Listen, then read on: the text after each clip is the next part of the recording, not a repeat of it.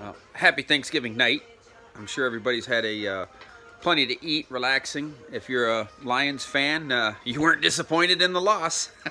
last minute field goal.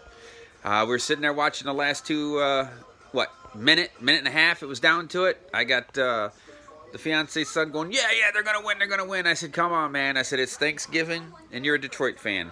You already know what's going to happen. Just keep your fingers crossed. Sure enough, the snap, boom, done, game over. Should have bet on it. Guaranteed win money every time if you bet against the Lions.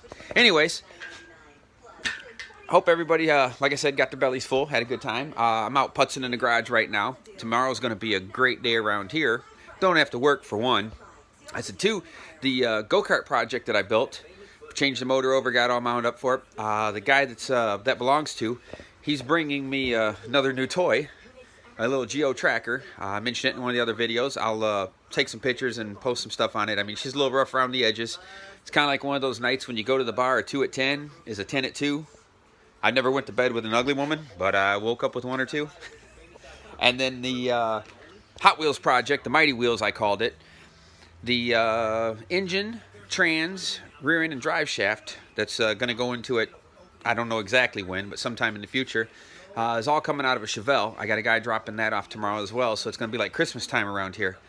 So stay tuned.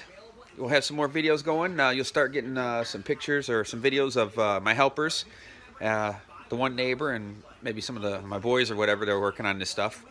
But uh, like, follow, subscribe. Hope you all have a great rest of the Thanksgiving night, and stay tuned. See you guys around.